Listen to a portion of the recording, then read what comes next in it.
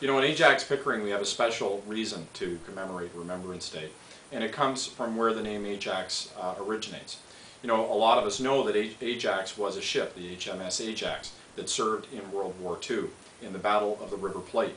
What many people might not realize is that we had a ceremony at the bottom of Harwood uh, Avenue uh, not so long ago to commemorate the 70th anniversary of that battle. And we had five of the surviving members were in attendance, and I had the opportunity to speak with them and to, to meet with them and to hear their stories about um, their valor and the courage that they had to have uh, in that battle to defend our freedoms. Uh, it was an incredibly moving moment and also really made me reflect as there was only five now surviving members on the importance of remembrance.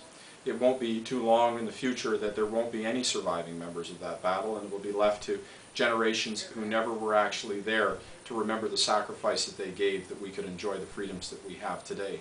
So as we take time on Remembrance Day to think generally about the contributions of soldiers in all parts of the world, both modern in places like Afghanistan or in wars that seem so distant now, like the, that of World War I or World War II, um, it's important that we not just do it on Remembrance Day, uh, but that when we drive through the streets of our community, uh, we think about, in, for example, in Ajax, what those streets mean. When we drive down Achilles, knowing that that was one of the ships that fought in the Battle of the River Plate. When we drive down uh, Exeter, similarly, that was also a ship that was in the Battle of the River Plate. Then we drive down Harwood, that was one of the commanding officers. Or that we're down Turnaberry, there's two individuals with the last name Turner uh, who were in that battle, who were also there.